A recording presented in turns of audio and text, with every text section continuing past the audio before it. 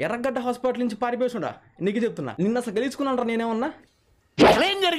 అసలు ఏం జరిగిందంటే అన్నా? Coming to the first one Waltair Veerayya. Second one Thegimpu. Third one Varasudu. Veera Simha Reddy అస్సలు recommend చేయను. ఏ ఎందుకు? ఎందుకంటే నా చిన్నప్పటి నుంచి ఇప్పుడు దాకా అదే ఫార్మాట్లో మూవీస్ చేస్తున్నారు అదే ఫార్మాట్ ఉంది. ఏదైనా నిజం ఫ్రాంక్గా మాట్లాడుతున్నాడు. ట్వంటీ ట్వంటీ త్రీలో ఉన్నాం భయ్య మనం ఇంకా. అదే నైన్టీస్ ఫార్మాట్ చూడమంటే ఇప్పుడు కూడా హౌ ఇట్ ఇస్ పాసిబుల్ ఒకవేళ మీరు బాలయ్య గారి ఫ్యాన్స్ అయితే మీరు థియేటర్స్కి వెళ్ళిపోండి. Okay okay okay The next day. ఒకడు ఏమన్నాడంటే నేను వాల్టర్ వీరయ్య సినిమాని రికమెండేషన్ చేస్తాను వారసుడు సినిమాని రికమెండేషన్ చేస్తాను కానీ వీరసింహారెడ్డిని రికమెండేషన్ చేయను అని చెప్పి చెప్తున్నాడు అనమాట అది నేనే అది నేనే.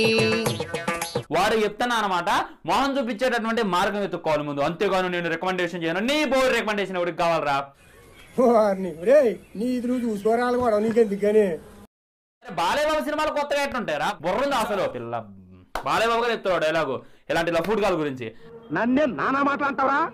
నీ అంతు చూడకపోతే నా పేరు గోరోజులం గర్వాచరమే కాదు. చూ, నేను రికమెండేషన్ చేయను. నువ్వే కూడా రికమెండేషన్ చేయడానికి బాలయ్య బాబు గారిని చాలా అంటే చాలా తక్కువ చేసి మాట్లాడుతున్నావు. ఆయన సినిమాను కూడా చాలా అంటే చాలా తక్కువ చేసి మాట్లాడుతున్నావు.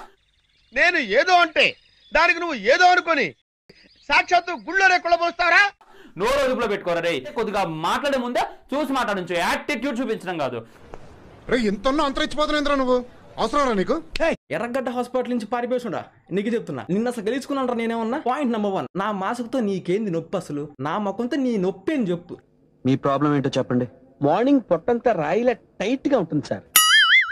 ఆది పురుషులో ప్రభాస్ చనిపోతాడు. ఆది పురుషులో. అంటే రావణాసుడు రాముడిని వేసేస్తాడు అనమాట క్రిస్ ఫోర్లో అల్లు ఉన్నాడు ఇప్పుడు ఈ టాపిక్ అవసరం అంటావా? నువ్వు రివ్యూగా నువ్వు పెట్టే రోత తమ్నేల్స్ ఆ తమ్నేల్స్ మీద ఉండే టైటిల్స్ అంత రోత వ్యూస్ కోసమేగా? వ్యూస్ బ్యాచ్ అచ్చో నువ్వు. ఊరుకోండి నాన్నగారు. మరి ఆడాళ్ళ ముందు నా పరువు తీసేస్తున్నాను. అన్ని మూసుకొని నీ పనులు చూసుకో. నా పని ఆల్రెడీ చూసుకుంటున్నా.